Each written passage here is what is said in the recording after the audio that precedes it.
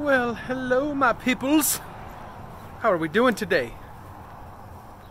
Question of the day Garden fleece. Is it worth it? Coming up next.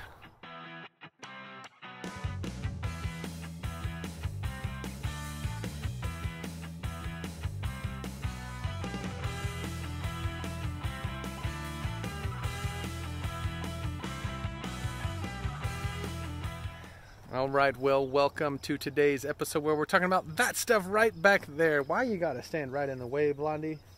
Oh my gosh, you goofball. That stuff right there is garden fleece. For those of you who have never seen it or don't know what it is, let me give you the rundown. It is this really thin, fibrous, breathable stuff. I have seen all kinds of people use it. Charles Dowding uses it extensively. It's supposed to provide some frost protection and do all sorts of other awesome things. So this year I finally got some to try out. And I want to show you just briefly the results that I found when using it with early spring plantings of lettuce. And I mean early. By far the earliest I've ever planted lettuce out. And I inadvertently did a little experiment right back there that I want to show you. Let's turn it around and take a look. Okay, so here's the experiment that we inadvertently did. Hello, cat. Thank you for joining us. Um, Tigger, why are you? You just coming? You're looking for some attention, aren't you? Yeah, I see how it is. Okay. Anyway, what we have here, people, is three stages of lettuce development based entirely on the fleece. And so here's what I see because I watched it happen. These three lettuce plants out here were never, ever, ever covered with the fleece. It just wasn't long enough. This is what's left over from the other piece. This is what was cut off. I covered what I could. These three lettuces right here were sometimes covered, kind of like they are now.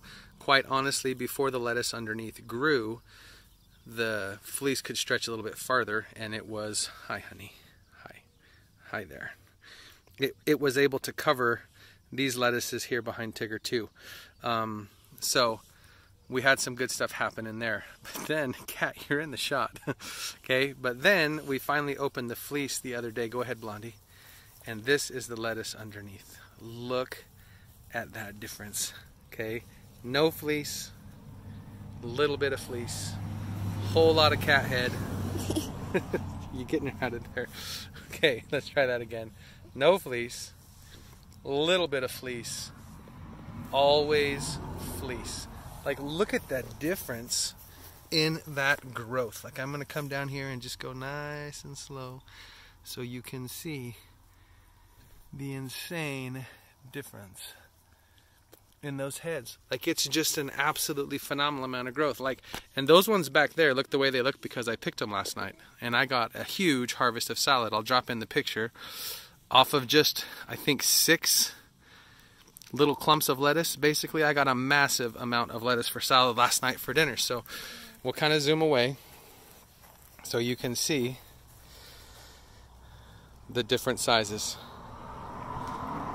Hey, do me a favor. If you're getting some value from this content, drop down there, give it a little thumbs up, maybe consider subscribing because we have lots of great content to share. And the more people who see this and me squinting in the sunshine, the more it gets viewed by others, which helps our channel grow, which is what we want because we're just here to help you build epic soil that feeds your body and your soul in the process. So thanks for being here. Thumbs up, subscribe.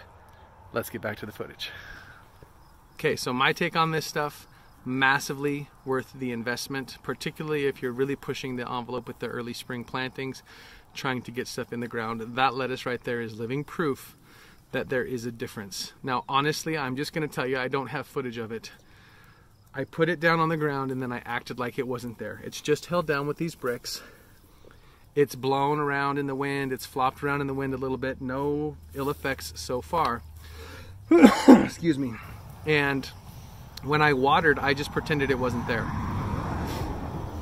Okay, so that means when I came through with a sprinkler and I was watering things, I just watered right over top of the fleece and let the water run down through the fleece and it worked just fine. I set up sprinklers in between these two beds and let it run like crazy. It worked just fine. So cover your stuff, pretend like it's not even there, water it, whatever you normally do, treat it like normal, and you'll see the results that we had there. We couldn't believe how moist the soil was underneath the fleece when we opened it for the first time two or three days ago. Like my wife popped it open while we were down here weeding a little bit, and it was literally dumbfounding how moist and cool it was underneath the fleece and just the growth is i mean you can see it's phenomenal. So highly recommend it. I think it's awesome. I'll put some links down in the description if this is something you're interested in so you know where to find it. There's literally hundreds of varieties to choose from online. I think i got this off of amazon so wherever you can find it get it. I will tell you i tried to find it at home depot and they don't sell this kind of stuff so if you're looking for horticultural fleece you might have to go online or go to a garden specialty store to find it. All right, there you go. That's all for this one. Thanks for watching, guys, and we'll see you next time. Get outside and get growing because life's better when it's lived outdoors.